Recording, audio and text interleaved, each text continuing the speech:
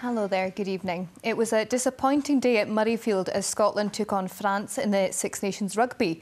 Gregor Townsend's side had a last minute try controversially ruled out, resulting in an agonising defeat 16 points to 20. Andy Burke sent this report.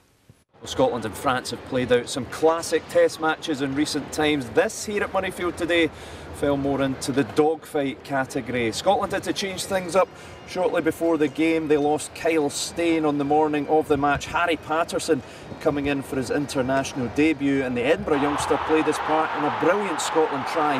Ben White finishing off a fine move. Finn Russell kicked Scotland into a 10 point lead, but the French responded impressively. Gaël Fickou going over to bring his side back within three going into the break.